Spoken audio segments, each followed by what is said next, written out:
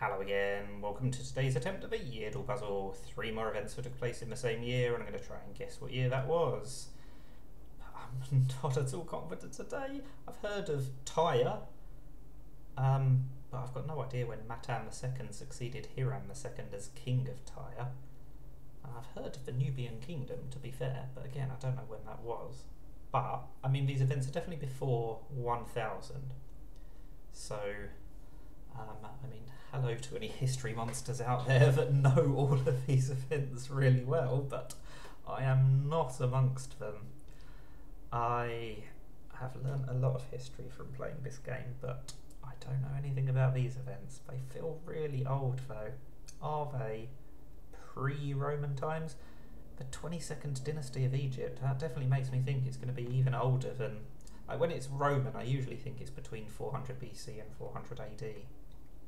But this feels like it's going to be even earlier.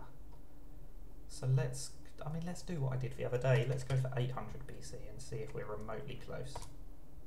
I am! I'm within 200 years. I've never been within 200 years when it's such an old event. I'm taking that as a big win. That means we can take only jumps of 80 years instead of having to go for about 400 year jumps.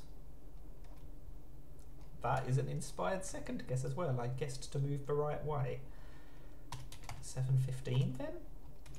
Okay, moved the wrong way now, but I cannot complain too much. It's got to be between 726 and 730, so I am guaranteed to succeed, which is incredible.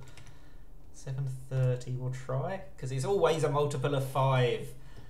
And we get there in 4. I was only 70 years off of my first guess. That is probably my best ever attempt when it was such an old event, and I had no idea.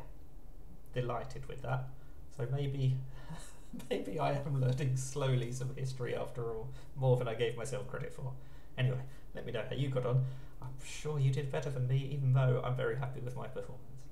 Thank you for watching, and bye for now.